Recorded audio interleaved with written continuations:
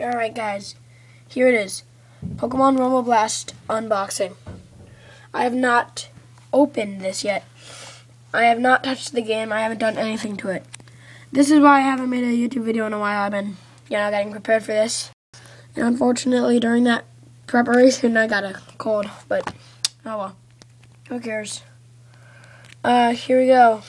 Um, uh, sorry about the sniffling. It's because of the cold, but you know, here we go. Place that right there. And here we go, opening the box. Alright, here it is, the box once again. I don't know how I'm going to open this thing.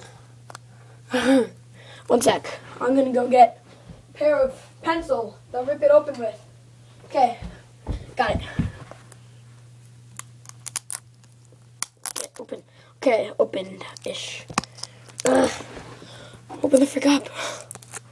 Open up. Okay, got it. Open. We have gotten this box opened and tamed. now comes the fun part. Opening it. Okay. There it is. The game itself. The little thing you stick in the DS and play the game on.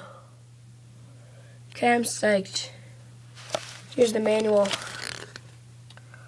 Ooh, Pokemon 3D, Pokedex 3D in there. There's uh, AR codes, I believe. Here's the manual. Look through that. Did I see a video chat thing? Nope, I didn't. Oh well. So yeah, guys, this is the unboxing of it. Next will be the in-game menu thing. I'm just to start it up, look at it, and then I will start the Let's Play immediately. So yeah, see you guys right now, really. But I'll see you guys next time.